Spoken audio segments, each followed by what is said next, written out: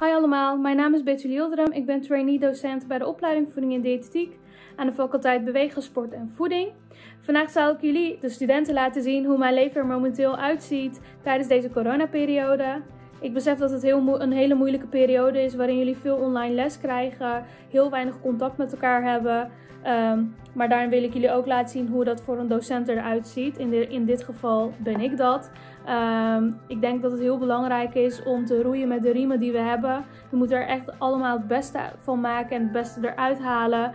Ehm, maar dit is dus hoe een docent deze periode meemaakt. Ik woon in Amsterdam-West samen met mijn man.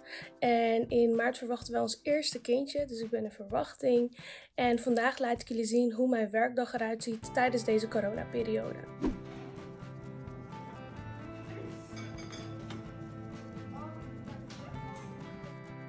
Nou, de, uh, de les op de faculteit die zit erop. Ik ga nu naar huis om de twee online lessen te geven en uh, daar verder te werken. Mijn werkplek is in de woonkamer.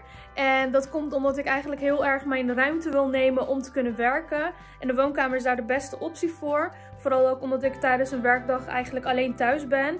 En daarvoor heb ik dus de uh, eettafel heb ik in beslag genomen. Hier ligt al mijn apparatuur. Aan het eind van de dag ruim ik het wel altijd op en ik maak het netjes schoon. Zodat ik de volgende dag eigenlijk gelijk kan beginnen met werken. Uh, en dan niet opnieuw hoef schoon te maken. En ik zal even laten zien hoe het eruit ziet. Dit is hoe mijn werkplek eruit ziet. Um, nou, hier ligt al mijn apparatuur. En daarachter liggen mijn spullen die ik vaak nodig heb, waarvan ik niet wil dat ze op mijn bureau liggen. En ik heb hier dan ook nog een mooi bos bloemen voor een mooi uitzicht. Een tip die mij heel erg heeft geholpen gedurende deze coronaperiode is om heel bewust mijn pauzes in te roosteren. En dit zijn dan momenten in de dag waarin ik bijvoorbeeld een wandeling maak of waarin ik even een lunch voor mezelf klaarmaak. Zodat ik voor mezelf ook weet dat ik er even tussenuit ben geweest en dat ik in de middag weer er tegenaan kan.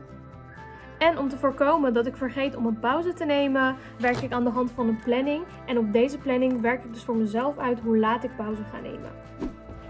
Ook vandaag maak ik lekker een wandeling tussendoor om tot mezelf te komen.